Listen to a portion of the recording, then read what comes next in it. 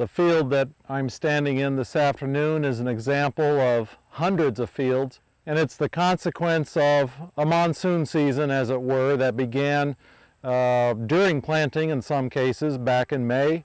Uh, in other cases, it started in early parts of June.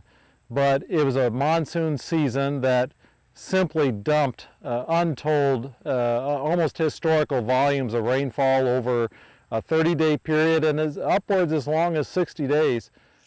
The striking thing about this kind of excessive rainfall and the effects it has on poorly drained fields is you see the effects of the tile line where for only three, maybe four rows of corn, uh, it's perfectly good. It's got nearly full-sized ears. And within such a short distance of coming off that tile line, you're into this mess here, which is barely waist high on me. It's got nubbins of ears or very small ears. And as I'm walking across this, this is only about 50 feet from the tile line that I began with uh, to the tile line that I'm coming up to. And it's just very striking what uh, the drainage can do. Now, the fact that there's such poor uh, management of the drainage in between these two tile lines is probably indicative of some historical soil compaction that's built up in this field and it just couldn't, the, the drainage, of the tile drains just could not overcome uh, the excessive rainfall that happened over such a short period of time. The potential in this field actually was pretty good. When you walk into these small segments of the field where it had better drainage and pull ears, the ears are essentially what you would expect for very good yields.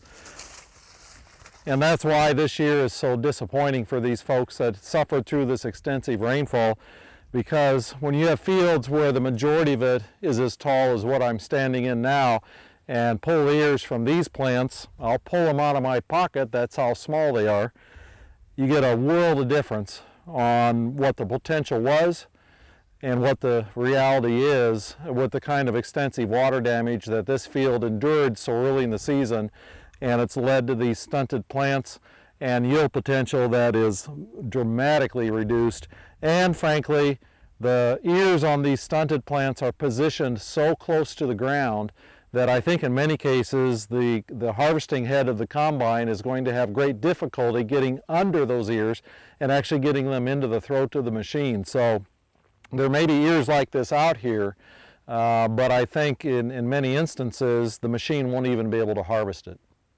Uh, the timing of the monsoon season, as we call it, uh, began somewhere around the tail end of May and lasted through uh, most of July.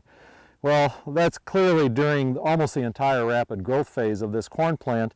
And among other things that goes on during the rapid growth phase is the elongation of the stalk and we talk about internode space, which is simply uh, the space between the nodes of the stalk, and that's where the elongation occurs. When there's that much stress imposed on the plant, photosynthesis is not working correctly and nothing is functioning very well, this elongation process is stunted.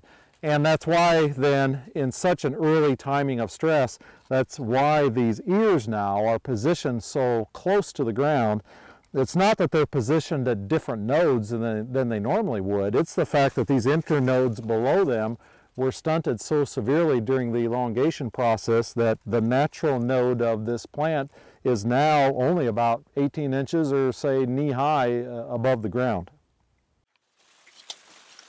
When there's this much difference in uh, height of the plants, I would have expected that there would have been a real strong delay in the development of this stunted corn. And because of that, I really expected that uh, the kernel development on the ears would be much farther behind. And if that were true, I was thinking that we would be seeing a lot of uh, difference in grain moisture at harvest time. But interestingly, uh, the good ears that I pulled out of that tile line and ears that I pulled out of the stunted Interestingly, there's very little difference in the progression of the milk line on the face of the kernel. The ear on this side came from one of these stunted plants. The larger ear came from the plants over the tile line that are much taller and, and healthier. And I would have expected that the better ear would have been farther along. But at this point in the grain fill process, what we're looking for is this sort of imaginary line between the darker, drier starch near the tip of the kernel and the lighter colored and still liquid part of the kernel uh, down near the cob. And, and this interface is called the milk line. And on both of these, the milk line is about, oh, half the way down from the crown of the plant. And of course, as, as these ears get closer to maturity, uh, this milk line progresses all the way down and eventually disappears uh, into the tip of the kernel. And yet, both of these ears seem to be at approximately the same stage of development. So if that's true, uh, then in this field at least, uh, there would be very little difference in grain moisture uh, in the grain harvested from the stunted areas compared to the grain harvested over these better drained areas of the field.